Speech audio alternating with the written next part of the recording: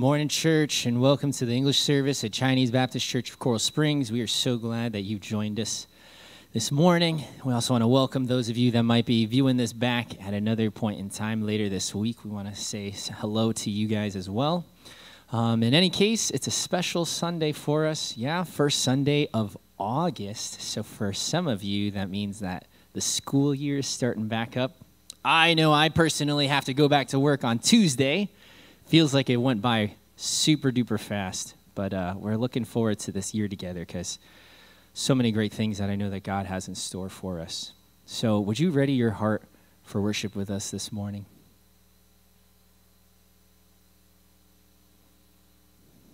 Almighty God, the Lord from everlasting to everlasting, creator of both heaven and earth, the great I am who is the Alpha and the Omega. Lord, you are the reason that we meet this very morning to worship you and to declare your majesty and to ascribe to you glory and honor and all praise. Lord, for to you belong all things, and you hold all things within the very palm of your hand. And so, Father God, we humbly ask that you would meet us this morning as we worship you in song and as we worship you through the reading of your word and through hearing your word be spoken to us, God. We ask that your Holy Spirit would be upon us, that we could have eyes to see and ears to hear. And God, that we would respond to your word as all of creation has done throughout history. God, I pray that our hearts would not be so hard that we could not receive from you this morning. And Lord, I pray that you would stir in our hearts and stir in our each of our lives and our different situations, God, how we can continue to honor you and glorify you through all that we do, God. For you are not just a God of knowledge, but you are a God that is active and living and moving. And so, Father God, we just pray that you would send us as your laborers into the harvest. And God, we commit to you our upcoming year. We commit to you the start of the school year. We commit to you all of these things that could stress us and cause anxiety for us, Lord. We submit to you humbly, Lord, all of our requests regarding the struggles around this world, within our country, and within our city. Father God, and we pray all these things knowing full well that you alone are the Lord who is omnipotent, who is omniscient, and is able to do all things and bring all things to completion. We pray all these things in your precious and in your holy name. Amen. Would you stand with me for the reading of God's word? I invite you to read this out loud with us. Our call to worship this morning comes from Psalm 115, verses 1 through 3, verse 18. Not to us, O Lord, not to us, but to your name give glory, for the sake of your steadfast love and your faithfulness. Why should the nations say, Where is their God? Our God is in the heavens, He does all that He pleases. But we will bless the Lord from this time forth and forevermore. Praise the Lord. This is the word of the Lord.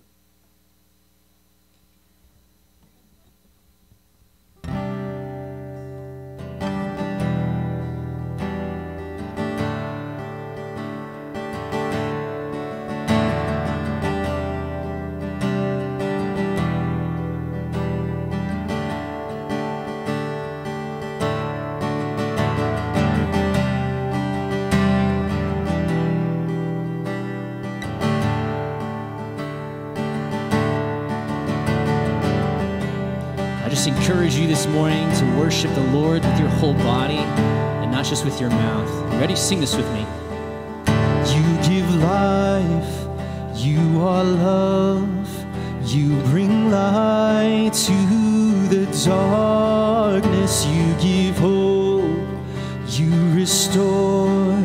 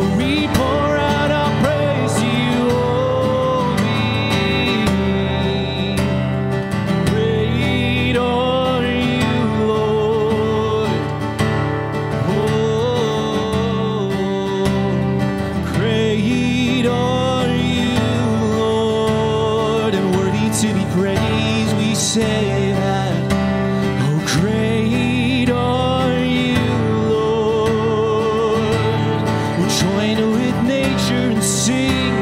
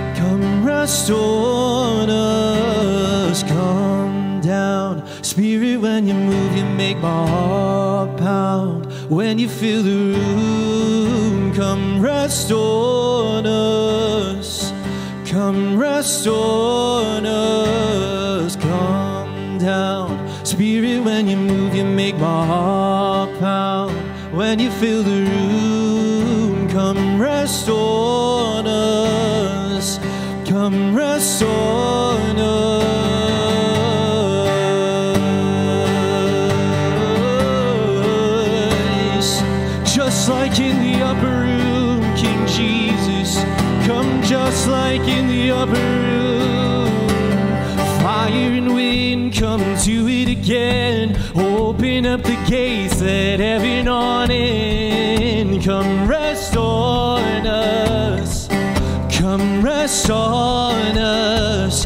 Fire and wind come and do it again. Open up the gates, let heaven on in. Come rest on us. Son of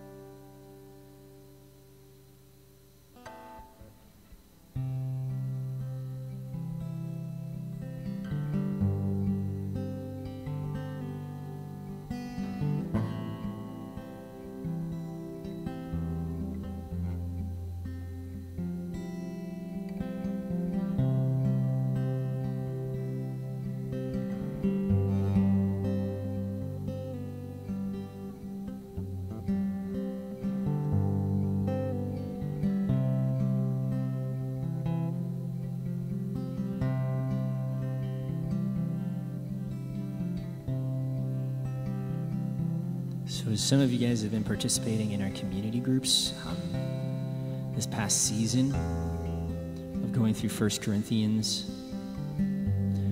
Um, one of the things that the leadership team was kind of talking about together is the necessity for us to continue to grow and to continue to go. And so, as this um, new school year begins, I just want to encourage those of you guys that are in school. Encourage those of you guys that even if you're working, you can kind of follow along with this calendar of being in school. Uh, but to consider how might the Lord be calling you to move? How might He be calling you to reach those that are around you? Whether they're your coworkers, whether they're your neighbors, or your friends. Who are the people that God has placed on your heart? Because at the end of the day,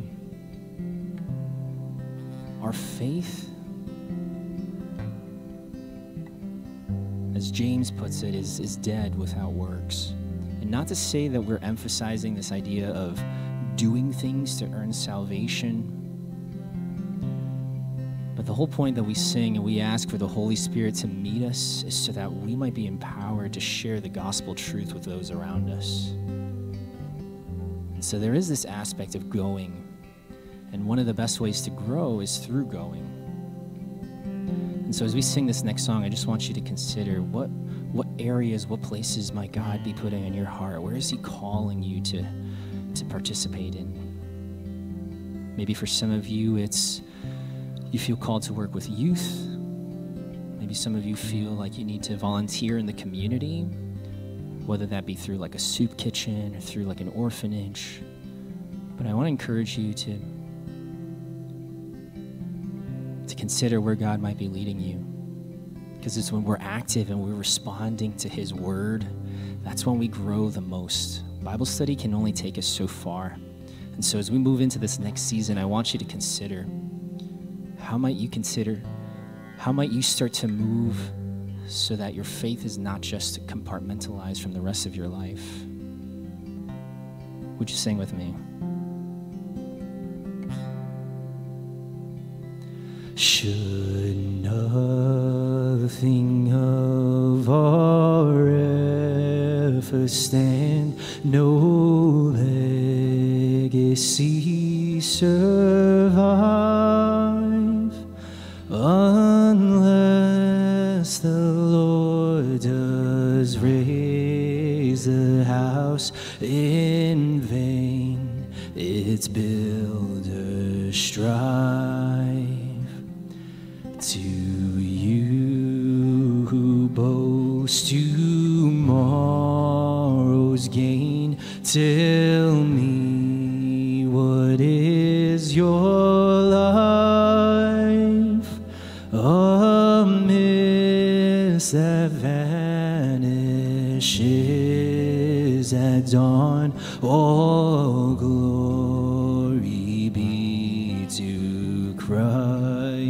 this up. Oh, glory be to Christ our King. All glory be to Christ.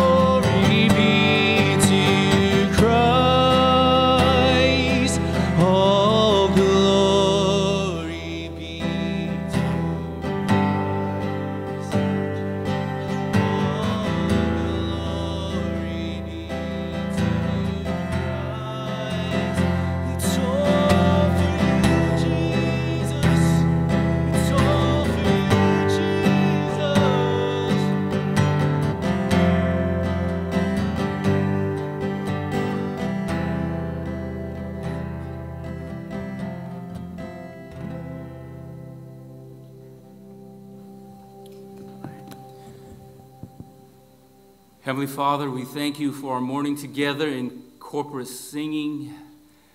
We declare all glory be to Christ, for it is you who give us breath in our lungs, for you sustain us according to your purpose and will. We thank you for your grace and mercy.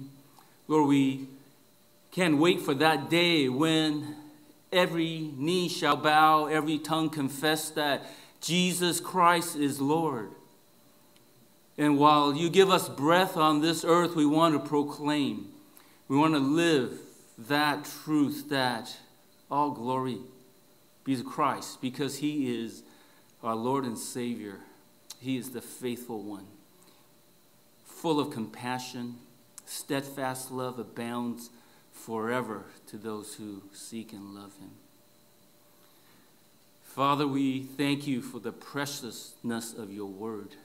We ask as we now approach to hearing your word that you would give us ears to hear, minds to understand, and hearts to obey.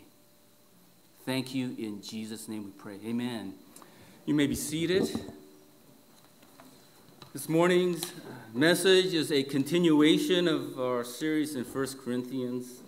I'm going to read from 1 Corinthians 10 7 through 14.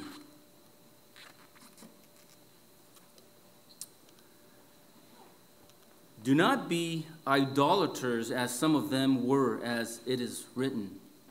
The people sat down to eat and drink and rose up to play.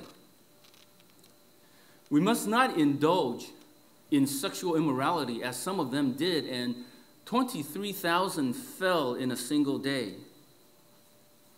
We must not put Christ to the test as some of them did and were destroyed by serpents nor grumble as some of them did and were destroyed by the destroyer.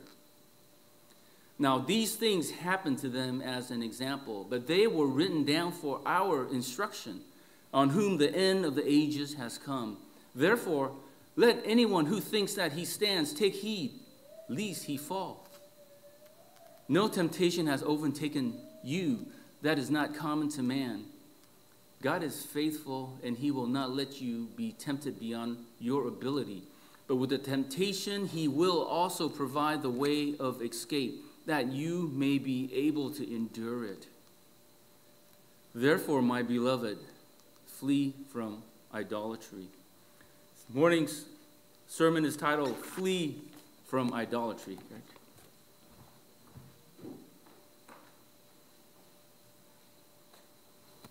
Good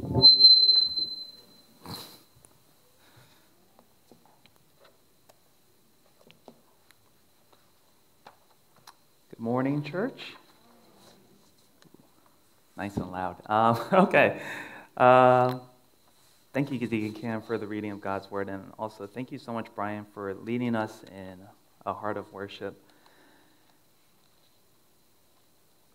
So, I also just want to say thank you to all of, uh, all of you guys, the church, the parents, uh, the families, the students, for your prayers and support for our youth retreat this past weekend. And it's like a blur. It, um, it happened really quickly. I, uh, I'm, I'm very honored and very blessed to be able to lead and to bring the students to Sebring. Um, and really had that weekend to retreat and to spend time in fellowship and with the parents who sacrificed their well being and their sanity in, in, coming with the students and, and their support. I thank you guys so, so much for that.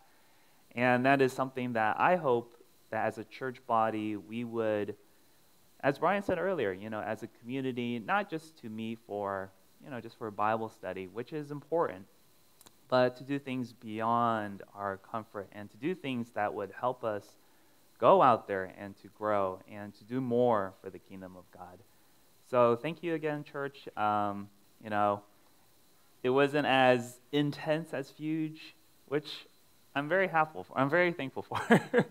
and uh, the great news is, yeah, um, you know, as per tradition for most of these retreats, I usually come back super sick and go see the doctor. But praise be to God, I am very still, I'm very much alive and healthy. So, so as we continue our series in First Corinthians,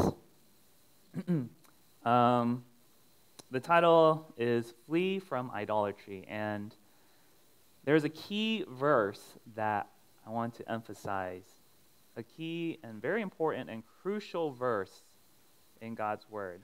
In 1 Corinthians 10:12, where Paul says, and instructs the church. Therefore, let anyone who thinks that he stands take heed lest he fall.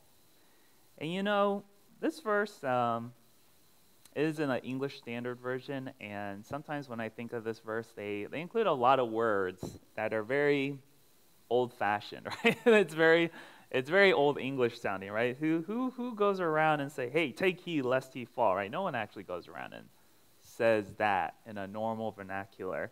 So, what exactly then does this phrase mean? What is Paul saying when he's talking about idolatry uh, to a church who, let's face it, has a big problem with idol worship, right?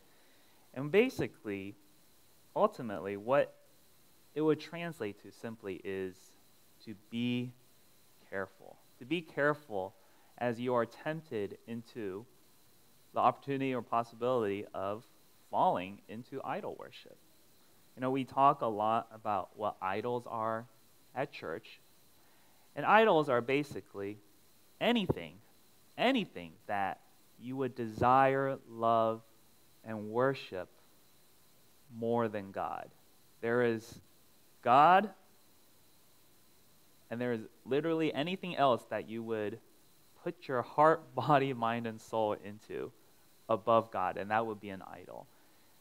And the instruction of Paul to this church, and my hope and my instruction to you, this church, would be to be careful, to be careful of that, to not fall into the temptation to worship anything above our Lord. So, of course, the big question then is well, how do we be careful? How do we be careful that we don't stand above so high up that, that we're in danger of falling into idol worship?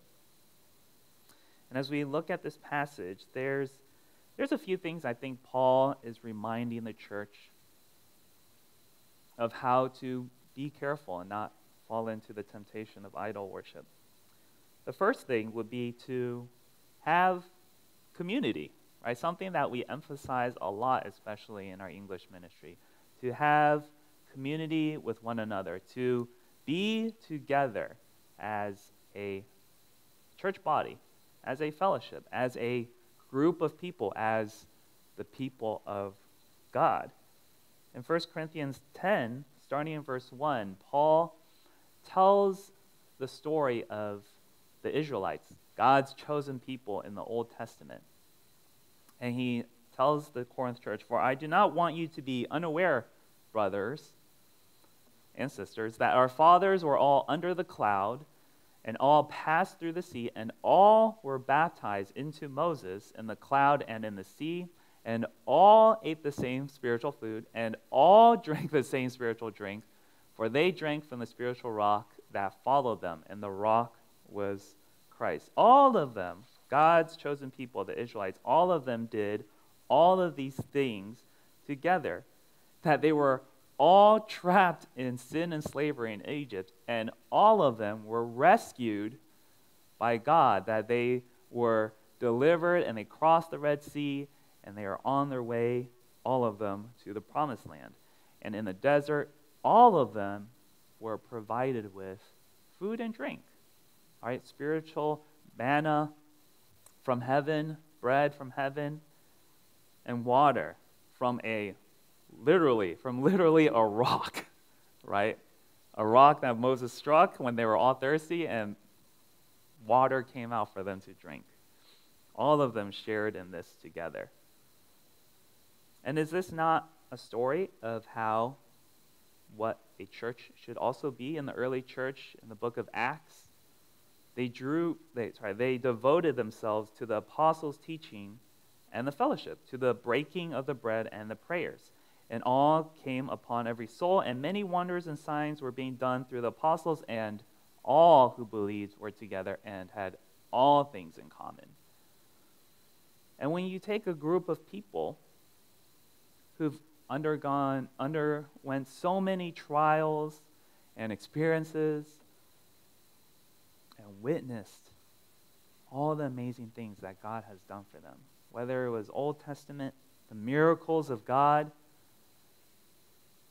or the miracles of the Spirit in the New Testament, all of them shared in this experience and had this community with one another. And they could not, for a time being, could not be distracted or fell into the temptation to worship anything but God.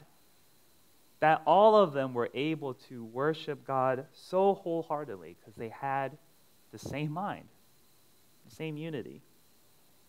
That they continued to meet together and share these things. And that is why it is such an important reminder, as it says in Hebrews, right? To consider how to stir up one another to love and good works, not neglecting to meet together, as is the habit of some, but encouraging one another, and all the more as you see the day drawing near. And I remember this verse we emphasized so, so much, actually, a lot, especially the past few years, right? And I would implore the church to emphasize this verse again, especially as we take a break from the community groups. It, it shouldn't default into thinking, hooray, I, I have until September to do whatever I want. I mean, that, yeah, that, that would be, that's true. You could do whatever you want Wednesday, Tuesday, Thursday, whenever your normal community groups uh, used to meet, and have a break. Enjoy this time. Enjoy this time to have a retreat, right? But don't neglect to still meet together. Don't make it a habit, right? Don't make it into a form of worship, right? That you would love to neglect meeting with one another over your desire to be together and worship God together. The community helps us to not only be together, but to focus on our worship to the one true God. I don't know about you, but it's a lot easier to worship God with one another than, than it is to worship God on my own. I gotta say, I feel, I, you know, I'll be honest, right? I feel the most connected with God here on Sunday with all of you guys. And I'll be honest, right? Monday morning, I'm kind of brain dead. And I'm not the most in tune with the Lord, probably because I'm just catching up on sleep and trying to enjoy the day off. But to be with the church whether in service or community groups or just whether in fellowship or with dinner or with an event or an activity or with service together. Why, why would there be anything else worth worshiping but a God that brings us all together? So, so do not neglect to meet with one another. And don't forget your worship towards God. Unfortunately, in the Old Testament, as many of us know, it didn't really work out so well with them, right? They were together and they saw all these things and they experienced all these things. But nevertheless, with most of them, God was not pleased, for they were overthrown in the wilderness. And so, not only is having that community helpful and important and being careful not to fall into idol worship, but there's something else that is necessary, right? More than just a group of people, but to also have experience. If you have experience, you're able to learn and not fall into the temptation to worship anything else but God. To have experience that you can recount from the past or to learn from the experience of others. And now, these things, the things that the Israelites in the Old Testament went through, it took place as examples for us, that we might not desire evil as they did. What did they desire exactly? And so Paul tells them, Don't be idolaters, as some of them were. As it is written, the people sat down to eat and drink and then rose up to play. You know what they desired? You know what they loved more than God? Entertaining themselves. Right?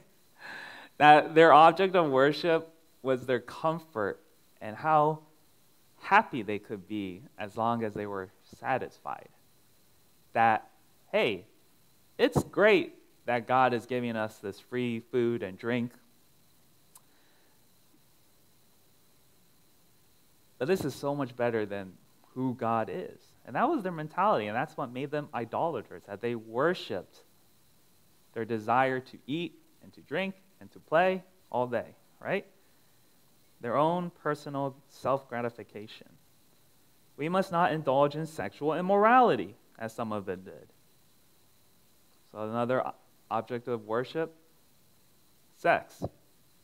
Their own perverse version of what they thought sex was, not the one that was designed by what and what God intended for them, but something that again they would gratify and satisfy for themselves, no matter how perverted or how wrong or, or immoral it was, because they indulged in it and they sought after it more than what God could provide. What God said, hey, this is what sex is meant to be. And as their punishment, 23,000 fell in a single day. And we must not put Christ to the test, as some of them did and were destroyed by serpents, nor grumble, as some of them did and were destroyed by the destroyer. You know what else these group of people, this community, loved more than God? They loved complaining about God. they loved complaining about how God was just not enough, or how God, you know what, if God really loved us, if God was really real and true, He would do these things. You know what? Let's put him to the test. If if God doesn't give me this, then I'm not going to worship him. If God doesn't provide me this, then I won't believe in him. If God, if you're there, give me a sign and make it under my own conditions. And that is a real form of idol worship, right? That you would love to test the Lord more than trust in the Lord. And this was a group of people who would do these things. That they would say to themselves, man, this God that delivered us out of slavery and shown us miracle after miracle and provided for us, you know what? It's not enough. And as a result, God punished them for their insurrection and their disobedience and their complaining and worshiping things more than God. And so now these things happen to them as an example for us. But they were written down for our instruction on whom the end of the ages has come. In Romans, Paul, uh, the writer of Romans emphasizes as well for whatever was written in former days was written for our instruction, that through endurance and through the encouragement of the scriptures we might have hope. So, to have experience helps us to know hey, maybe we shouldn't fall into idol worship because let me ask you this has there, any, has there really been anything that you've experienced for yourself that you thought was more than God and you realized it just came up really empty? Like, and it could be anything. It could be self gratification, some, some sort of form of entertainment, right? Something that you thought was so fun Nothing could be better than this. And then the more you pursue it, the more you realize, wait, this isn't really quite cutting it. Or maybe it could be sex. Or it could be complaining or just being uh, just being angry or not satisfied with anything right that you would desire to find fault in everything besides find acknowledgement and thanks and appreciation for who God is. And all of these things, whatever you've gone through, whatever experience you've had, you must have realized, yeah, this is not quite enough. No matter how much time and effort and energy and money and focus I spent on it, it's just, it's just not quite enough to learn from those experiences and to realize yeah, this, this is not something worthy of worship at all. And so, therefore, let anyone who thinks that he stands take heed lest he fall, right? Be careful that you would put yourself in this place where you think, yeah, this is more than I need. This is everything I need. Be careful, because that is when you will fall into idolatry. Experience is something else that helps us flee from idolatry. But there's also one more thing as well that comes with experience. That is part of the experience, right? And that's to have trials, to go through the difficult times, right? To go through these tests that God puts you in on purpose. On purpose. No temptation has overtaken you that is not common to man. God is faithful, and He will not let you be tempted beyond your ability. But with the temptation, He will also provide the way out of escape, that you may be able to endure it. You know, I'm fairly certain every time I've been tempted by something, in hindsight and, thinking back, there is a way out. Right? There's always two options. It's, there's always two options, no exceptions. Option one, fall into the temptation, right? Give in to sin. Usually that's the easier option, let's be real. I mean, let's be honest. You just fall into temptation because you think it might feel good at the time, or you think there's nothing else that could satisfy you, or you think you have no choice. That's option one. Option two, turn the other way, run from it, get away from it. Do anything else but fall into that temptation. Right? Those moments of weakness that you find yourself in, pick yourself up and get out of there. And God has put you in that situation to see what you will choose. God has designed you to have that trial to see if you can endure it. And I don't know about you, but I think God knows what He's doing. You know who doesn't know what they're doing half the time? Most of the time? Almost all the time. Me. You. We don't really know what we're doing. And so when we're faced with that temptation, can we really trust ourselves? No. We need to trust in the Lord, right? We should be thankful for those trials to learn from, to have those experiences. Because all these temptations to worship anything else but God, God has provided a way out. Now, you might honestly ask yourself, why would God put me through that, right? If God really loved me so much, He would just not let me go through those kind of things. I think that's a very immature and wrong way to think about it. I think if God really did love you, He would see if you could go through those things, right? God would not baby someone and just cover them and protect them from all the harm and difficulties in the world. Because that's not realistic at all, right? They wouldn't, God wouldn't shelter anyone and say, Yeah, don't worry about anything. You just have to blindly follow me, and you'll never have to test your faith at all. That's not realistic. You know, I think part of my role as, as someone called into ministry is to kind of purposely put students and people into a situation where they kind of have to choose, right? because I, I think of myself when I had to choose as well. Uh, there's definitely a lot of times that I didn't choose wisely and I didn't choose correctly and I didn't choose God. But when I finally accepted Jesus as my personal Lord and Savior, when I realized what Jesus has done for me through all the different trials I've been in. God, I am so thankful that I can choose Him. And I feel that it's more real than just growing up and blindly just choosing God because everyone else told me to. I made that choice for myself. But God provided me those opportunities to make those choices too. So have these trials, right? And when you face those trials, beloved, flee from idolatry, run from it.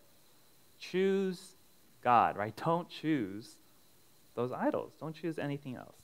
The cup of blessing that we bless is it not a participation in the blood of Christ? The bread that we break is it not a participation in the body of Christ? And so Paul is referring to communion, the Lord's Supper. And as a community where we have communion together, where we share in the Lord's Supper, what are we sharing? We're not sharing these little cups of grape juice and this tiny, uh, what do you even call them, right? Crackers, I guess, or like morsels of, of dried bread or dough. Well, it's not, it's, not, it's not about those things, right? It's, it's about what communion represents and what we remember, what Jesus did. And so we are sharing in that. We share it as a community and to have that experience and to remember the trials that Jesus went through for each and every one of us. The trial that he died at the cross, that he broke his body, that he bled out his blood for each and every one of us. And Paul recounts his own background, right? Everything that he was proud of and accomplished, all the idols that he had in the past, as he shares his testimony in a letter to a different church, the church of Philippi. In Philippians, he, he tells them about all the accomplishments that he had success, money, power, authority, status.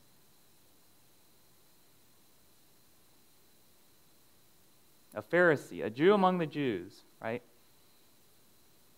Smarter than anyone else, young, and just possibilities abound in the temple. He could have anything he wanted. And then he had the choice to choose Jesus. And he realized I counted everything, all those things that he worshiped, all those things that he loved and was proud of, and that he desired. I counted everything as loss because of the surpassing worth of knowing Christ Jesus my Lord. For his sake I have suffered the loss of all things and count them as trash, garbage, rubbish, in order that I may gain Christ and be found in him, not having a righteousness of my own that comes from the law, but that which comes through faith in Christ, the righteousness from God that depends on faith, and that I might know him, may know him and the power of his resurrection, and may share in his sufferings, to share in those trials that Jesus went through, becoming like him in his death. And then by any means possible, I may attain the resurrection from the dead. That Paul would give up everything he desired in worship above God, and he would choose to share in the sufferings and trials that Jesus went through. And that is what communion, that is what the Lord's Supper represent. That we remember the trials our Savior went through us, and we share in those things too. And so, because there is one bread, we who are many are one body, for we all partake of the one bread. Consider the people of Israel. Are they are not those who eat the sacrifices participants in the altar? And so, if you recall, Paul was talking about, you know, food being offered to idols. You guys remember that that passage where, hey, is it okay if we eat meat that was offered to idols? You know, some people are saying it's okay, some people are not saying it's okay. I think it's free food. Some people think it's tainted with demon possession, right? Because it's for idols, it's for fake gods. And so, what, what is Paul saying? What do I imply then? That food offered to idols is anything, or that an idol is anything? Uh, no. Now, I imply that pay, what pagans sacrifice they offer to demons and not to God. I do not want you to be participants with demons. Now, here's something very interesting, right? That if you don't have a relationship with God, I mean, you're basically considered a pagan. I mean, we were all pagans. We were all sinners, right? Because we all did not have a relationship with God at one point. And what they are sacrificing, what they are giving up for, to worship instead of God, well, Paul's making the claim that it's a form of spiritual worship and you're worshiping demons, right? You're worshiping anything but God. It's a very metaphysical spiritual concept. But what Paul is saying is, yeah, if you don't have a relationship with God, anything you offer that's not God is ungodly, right? It's demonic. It's antichrist, basically. That's basically what it means. And Paul, and I would encourage you to not be participants with that. Right? That instead of worshiping and sacrificing your well being for anything but God, you would worship and sacrifice for God instead. And that's the reality. You can't serve both things. That, that logically and cannot make sense. You cannot sacrifice one thing for God and then sacrifice another thing that is not God or that is demonic. You can't drink the cup of the Lord and the cup of demons. You can't partake of the table of the Lord and the table of demons. Shall we provoke the Lord to jealousy? Are we stronger than He? And our God is a jealous God. You know, people, I, I, remember people don't like to hear that, right? They don't like this idea that God is a jealous God. Why? Because jealousy as a human trait is bad. Jealousy as a human trait is usually frowned upon. But let me, let me, let me, uh, let me try to challenge you with this. If you're in a relationship, dating, married, um, someone really close to you, I guess, in a, um, a very romantic way, let's just say it like that. Wouldn't you want your partner to be jealous? Right? Do you really want your partner to, do you want to say to people, yeah, my wife, my husband, they don't care if I talk to other people in a very romantic and non platonic way? Right? Like you're married to someone, right? Do you think it's wise for a husband to go around and telling people, yeah, I can talk to other women, no problem? My wife doesn't get jealous at all. That's a red flag. You know why? Because your wife is probably your wife is probably uh, talking to other people too. I guess, right? Same thing with with wives, right? Yeah, yeah. My husband lets me talk to other men, no problem. He doesn't get jealous at all. No, man, you should be jealous, and you should hold fast to your wife, and you should protect your wife from all those other, let's face it, scoundrels, right? So, same thing with students. If you're dating, don't you want your boyfriend, girlfriend to be jealous? You think it's cool and modern and like progressive that you're so open? I, I'll tell you now, that's not really realistic, and that's probably a problem. It's most likely a problem if your partner doesn't get jealous. So, if God is not a jealous God, let's say if God is just saying, hey, yeah, it's okay. You can worship me. You can worship these demons. No problem, right? I think that is a huge problem. That would be a huge problem to our faith. So, why should we provoke the Lord to jealousy? Why should we say, those who are in a relationship with God, say, you know, I'm going to talk to these other things? I'm going to focus my time and my energy and my worship towards anything but you, God. Is that okay? No, that's not okay. God is a jealous God, and the repercussions of a jealous God is quite serious. Right? In the Old Testament, you shall not bow down to them or serve them, other gods. For I, the Lord your God, am a jealous God, visiting the iniquity of the fathers on the children to the third and the fourth generation of those who hate me, that they will suffer generation upon generation, they will suffer the wrath of God if you dare worship anyone else but God.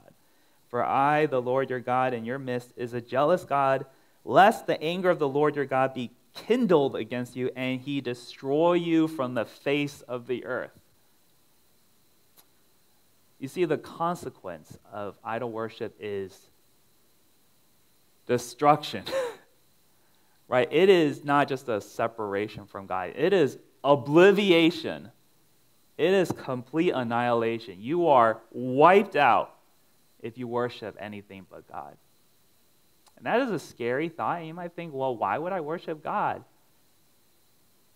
Because the opposite would be true too, right? God has promised eternal life, resurrection, not complete disappearance from the face of the earth, but to have a joy and eternal life with God the Father and with the people of God. To not have to fear nothing. but to look forward to everything. So, yeah, God is a jealous God, and honestly, that's a good thing. But the reality is, we can't worship two different things. We cannot worship God, and we can't worship not God. we can't have idols. No one, as what Jesus says, can serve two masters, for either he will hate the one and love the other, or he will be devoted to one and despise the other. You cannot serve God and money. And Jesus is using money as one example of idolatry. But it could be anything, right? It could literally be anything that you put above God. So, church, as a community, as a body of Christ, as we share in these experiences and as we go through trials together, I hope right, that we would remember ultimately we can't serve ourselves, right? We can't serve other things more than God. We should encourage and remind each other and help each other to grow, to devote our worship towards the Lord. You know, today marks a very special day. Those who are watching online, surprise, you are not watching this live. I know this for a fact, right? That none of you are watching this Sunday morning from the comfort of your office or living room or computer. Um, you know, it would be awkward. Let me, is that thumbs up? Is that true? That's true, right? okay, so, yeah, so surprise. Uh, you are watching this not in real time. And there's a reason for that. Uh, I want to give special thanks to the AV team and all the people who've done so much work and effort and energy into setting this up. But I think honestly, past few years or past few months, um, people have kind of taken advantage of the comfort and you know that kind of they they desire their comfort more than their desire to worship God. And you know, you might think, well, you know, there could be a lot of reasons why they can't attend in person. Sure, sure, I guess. But I hate to do this, but if you like go out to eat or go to work or go to school or go socialize, you can go to church. You can go to church. So, hey, hopefully see you next time live in person, right? Um, you can't serve God and money. You can't serve God and idols. You can't serve God and yourself. I hope that, especially as we take a break from meeting community groups, we would seek God more than anything we've ever sought before in our lives. That we would desire the community around us to share, to see that there's nothing in their life, there's no idols in their life that's worthy of worship. To help the world realize to bend the knee and bow down to authority of God and Jesus. And we could do this together.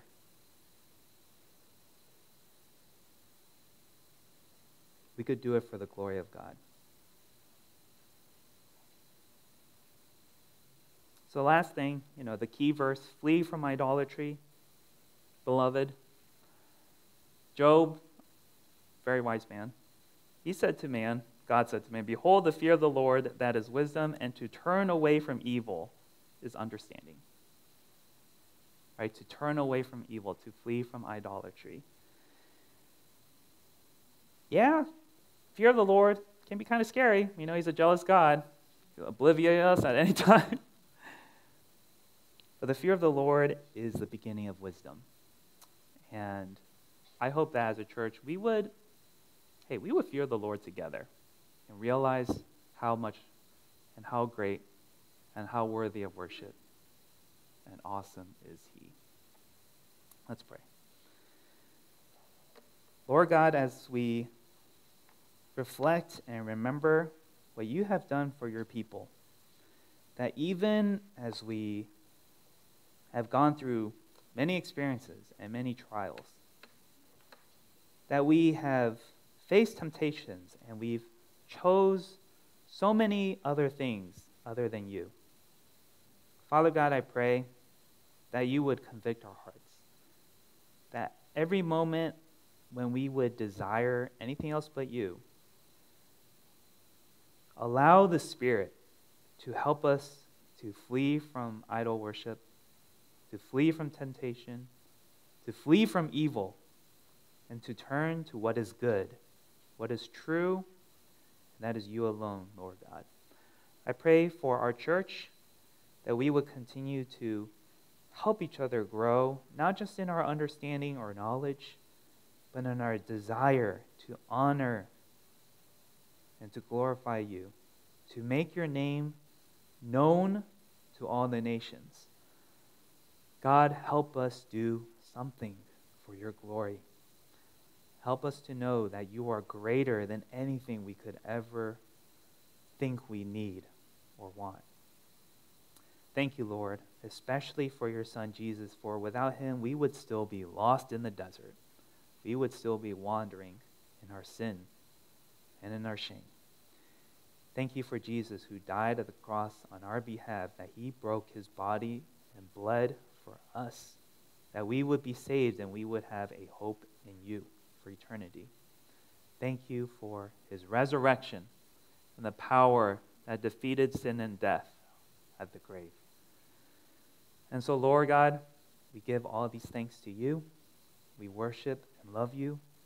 And we pray all these things in your Son, Jesus' name. Amen.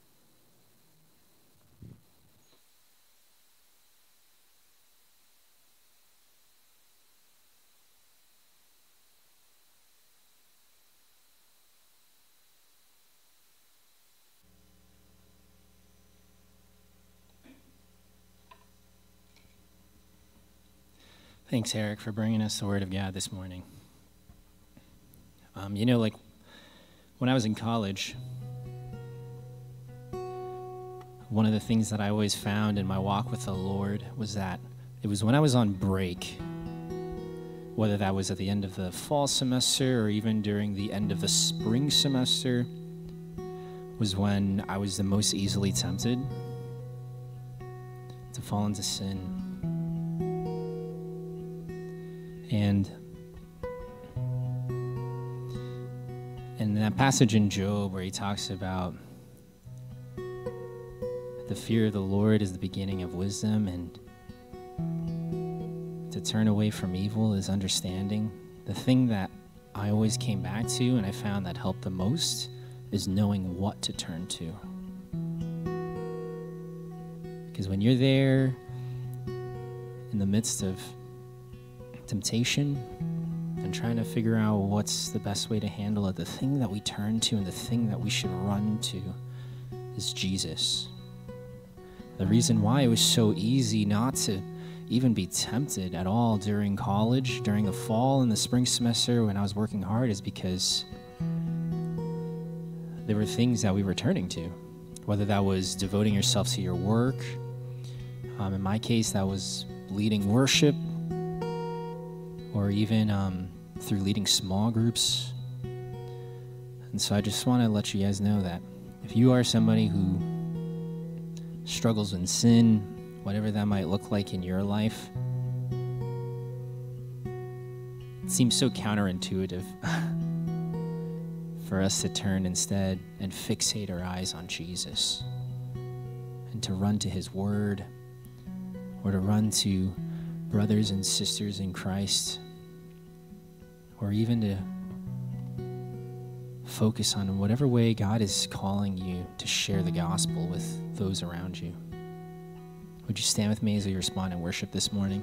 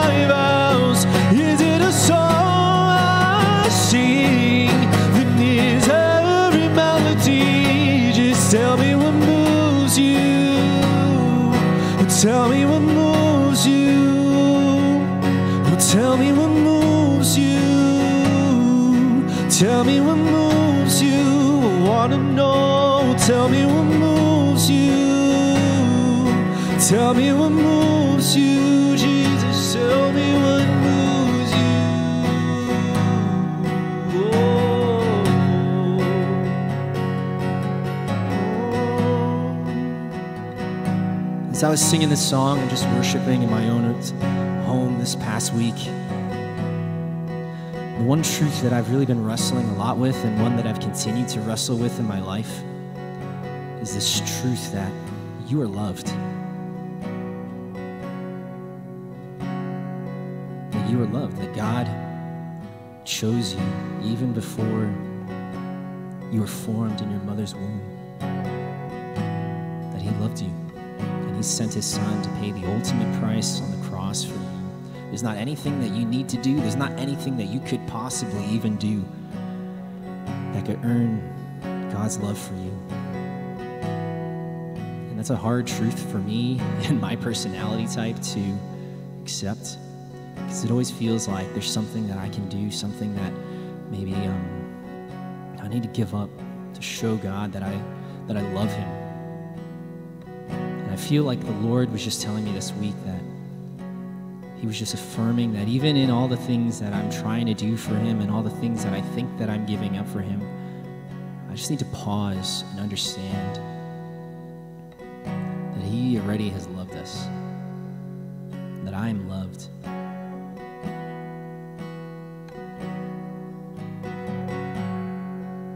Would you sing this one more time with me? I just wanna move your heart. It's all I wanna do. I just wanna stand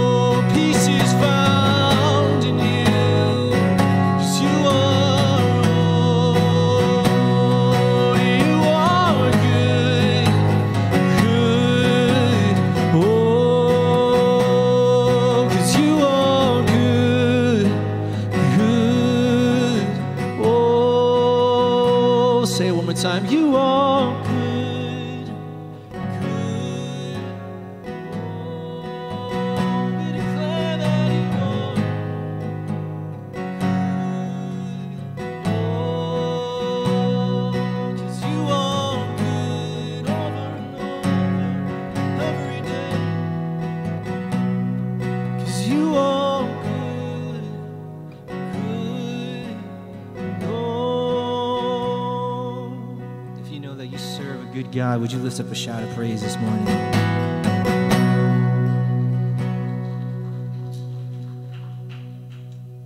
Right, you may be seated. Well, what a joy it is to see everyone here, and we're so glad uh, we're all together in corporate worship. Well, a large caravan of cars went uh, to Central Florida last weekend for the youth retreat, and some of the youth have put together a short slideshow. All right, so we're going to play it just to see what the blessing of really fellowship and being together is all about.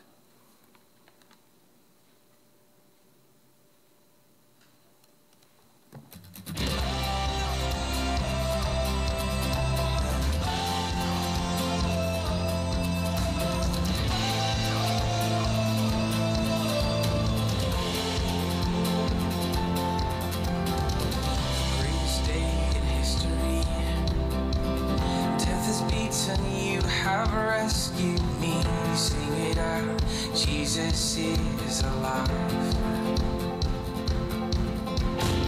The empty cross, the empty grave. Life eternal, you have won the day. Shout it out, Jesus is alive. He's alive.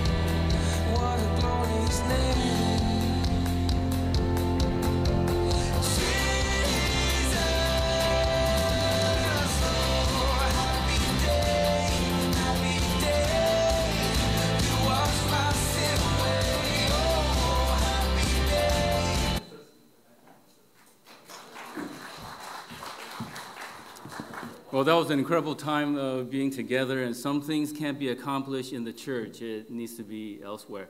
So next year, we want to we want to just alert you. You know, you get sometimes these save the date postcards for a very big event. So next year, save the date. Memorial Day weekend, we're having an all church retreat, and we'll have a chance to really be together, connect together as a church family. So save the date, all right? Memorial Day. More information will be coming. But Memorial Day weekend next year, our all church retreat. Well, I just want to share that we'll continue uh, really uh, having our, um, uh, making available to everyone going deeper in God's Word on our time together after service. Uh, the, the roundtable discussion groups to get deeper in today's sermon and also our Sunday school class about what church membership really means, what baptism really means. So we invite you to those classes if you uh, wish, okay? Let's pray. Yeah? Let's pray for our offering this morning. Heavenly Father, we thank you that you are alive. You are alive in this world, and you are alive in those who love you. So we ask that this message be proclaimed, the joy of the Lord, to the ends of the world. Bless this offering, use it for your glory, because all glory be to Christ. In Jesus' name we pray. Amen.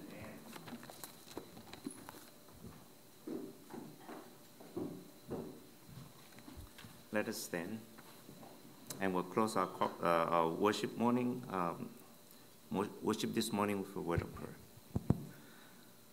Father God, we thank you for uh, this time of worship that we can experience you. And Lord, let we can have um, intimate communion with you and with our brothers and sisters in Christ. And Lord, thank you for uh, allowing us um, to have this sweet fellowship with you. And Lord, thank you, uh, Lord Jesus, for what you have done for us so that we can come boldly to our Heavenly Father and uh, just uh, to, to sit at your feet and, and just to listen and uh, um, enjoy the fellowship with you and to also listen to um, the words that you have spoken to us uh, through um, uh, Eric. And Lord, um, as we leave, Lord, this church building, Lord, not, not just leaving um, that fellowship, and Lord, we know that your Holy Spirit abides in us. And Lord, there are so many temptations and there are trials in our life. Yet, Lord, help us to remember your love for us. Lord, help us to continue to meditate on the length, the width, the heights, and the depth of your love.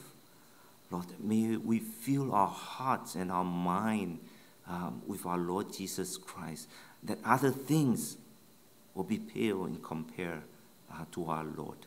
And Lord, motivate us to live for you. And Lord, I pray for all of us. Lord, help us to live a life that will glorify you. And I pray all this in Jesus' name. Amen. Please be seated and you're dismissed after a silence prayer.